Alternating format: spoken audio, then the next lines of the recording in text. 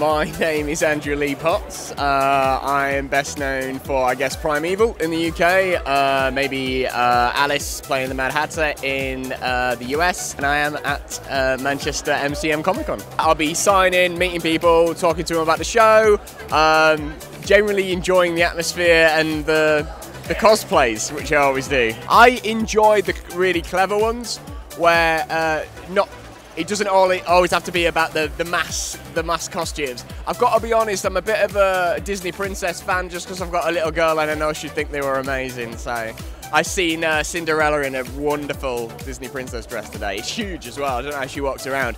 Some of the costumes are massive. I honestly do. I walked past one girl and she went, I keep forgetting how wide I am. Best question that I've ever been asked on an interview like this is, what's the best question you've ever been asked? If you're near the area in Manchester, definitely come down, or any of the MCMs. They're one of my favourite. They're amazing. They put on such an amazing show. They have great guests. So come down, MCM Comic Con. Wherever they are in the country, you're always guaranteed a good show.